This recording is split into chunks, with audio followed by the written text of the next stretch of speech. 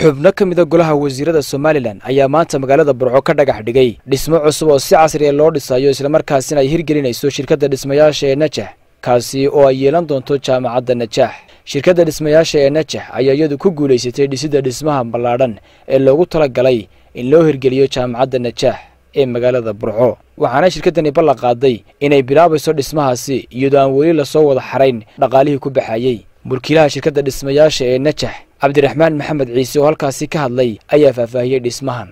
Sharaxa haddii aan ku yaro noqdo jaamacadda waxa ay ka kooban tahay saddex kuliyadood oo mid waliba tahay saddex dabaq. Waxaa kaloo isna weheliya oo ku jira dhisme isna saddex dabaqa oo maktabkii idaarada maamulka ah ayaa ku jira. Waxaa kaloo ku jira masaajidkii dee culummada iyo ardayduba ay ku tukanayeen waxaa kale oo ku jira hool weyn oo steel structure oo isaguna qaada ilaa kun qof ugu yaraan kun qof. Waxa kale oo dheeraada sakankii ay degayeen macallimiintu. Ay degayeen. Niman brofesor raaba imanaya baa layidhi oo macallimiina. Markaa sakankoodii oo qol walibana suuli gudaha a leeyahay hool weyn oo isugu yimaadaan leh laandarigoodii le ay wax ku meydhanayeen leh kijinkoodii leh ayaa isaguna ku jira. Waxaa kale oo ku jira maktabada weyn oo weliba kala qaybsan oo u kala qaybsan hablaha iyo inamada u kala qaybsan. Laba officena weliba gudaha ku sii leh. Waxa weheliya dayrkii iyo landscapekii iyo qaybo dhan oo bannaan oo inoo bannaan.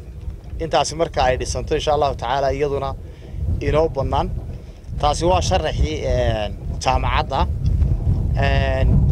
Waxaa raaca jaamacadda raaca maamulka najax najaax najaax university idaarada jaamacadda annajaax waxay u badheedheen mashruuca intaa leg ayay u badheedheen waxa ay maaragtay insha allahu tacaala dee ku xisaabtameen.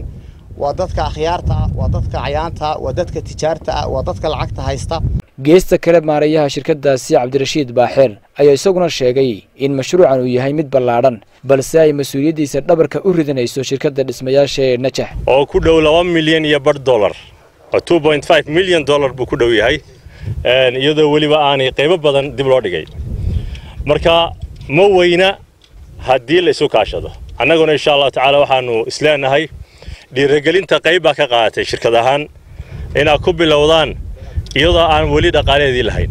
Barasaabka gobolka togdheer maayir ku-xigeenka degmada burco xubno ka mida culimmada waaweyn cuqaasha iyo salaadiinta somalilan ayaa si isku mida u soo dhoweeyey dhismahan jaamacadda najax loo dhagax dhigay iyagoo bogaadiyey shirkadda dhismahaasi hirgelinaysa ee najax ugu dambayntii wasiirka diinta iyo awqaafta somalilan sheekh khaliil cabdilaahi axmed iyo wasiiru dowlaha wasaaradda waxbarashada maxamed xaaji aadan cilmi ayaa ka hadlay goobtaasi.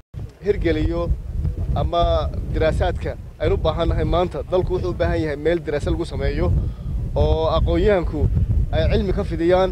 Dalkeenna hadday tahay nooc kasta shareecada marka la leeyahay waa asaaska une laakiin dhismaha dalku waa shareecada amnigu waa shareecada. Maxaa waddooyinka loo hagaajiya shareecaday ka mid tahay? Iskuulladoo la badiya shareecaday ka mid tahay. Aqoonta maadiga ah oo la barta shareecaday ka mid tahay. Waayo waxaana ummad muslimiina oo adduun iyo aakhiraba labadaba loogu talagalay inay wanaajiyaan. Aakhiradana wanaajistaan adduunyadana wanaajistaan oo qurxiyaan. Ay u baahnayd oo ay ka raagtay. Waxaan u malanayaa dalkan waxaynu ka joognaa xornimadiisa uu qaatay ilaa toddobiyo konton sannadood oo aynu ahayn shacab muslina iyo xukuumado muslimiinahoo kala duwan. Jaamacad ku saabsan daraasaad islaamiya. Waxaan u malaynayaa inay tahay jaamacaddii koowaad wakhtigaa dheer. Annagu haddii aanu nahay wasaaradda waxbarashada xukuumaddu sidaa la sheegay way ka qayb qaadatay si waafiya. Hadday tahay sharciyeynteeda iyo hadday tahay gacanka geysadkeedaba xukuumaddu way ka qayb qaadatay. Maxamed xuseen ismaaciil mooto ariel t v burco